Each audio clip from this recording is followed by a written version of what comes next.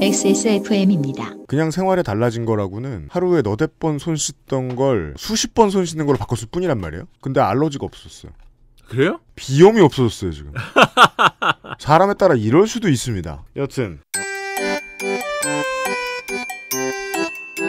임시적이다라고 또 봐야 되는 게 아베 신조 총리의 남은 자민당 총재 임기를 이제 채우는 거거든요. 보궐 네. 개념인 거죠. 그렇죠. 그러면 이제 내년 9월 9월까지고 그러면 내년 10월이 되면은 총재 선거를 다시 해야 됩니다. 음. 11개월짜리 총리예요. 예. 자민당 내 주요 파벌은 7개라고들 하고 있습니다. 이런 것을 자세히 얘기해 보겠습니다, 오늘. 예.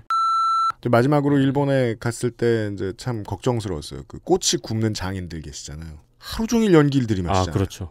진짜 안 좋겠더라고. 자, 갱지회는 호수에서 모이고 네. 호수에 모인 갱지회가 꼬치구이를 구워 먹으면 뭔지 아십니까? 뭔데요?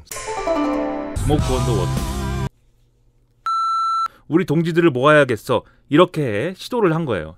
이게 이른바 가토의 난입. 아나벨 가토가 에? 솔로몬이여 내가 돌아왔다 하고 핵 바주카를 쏘은 게 그게 가토의 난이 아닙니다. 그건 뭐예요? 솔로몬이여 내가 돌아왔다. 이 연방군 함대가 이제 잔뜩 모여 있는데 네. 그게 이제 연방군 함대가 검색해야지. 거의 대부분이 모여 있는데다가 그냥 그 GP 공이에 그거를 탈취해 가지고 그걸 끌고 가 가지고 그냥 핵 바주카를 빵 쏴 가지고 연방 함대가 전멸해 버립니다. 거- 건담 얘기예요? 예.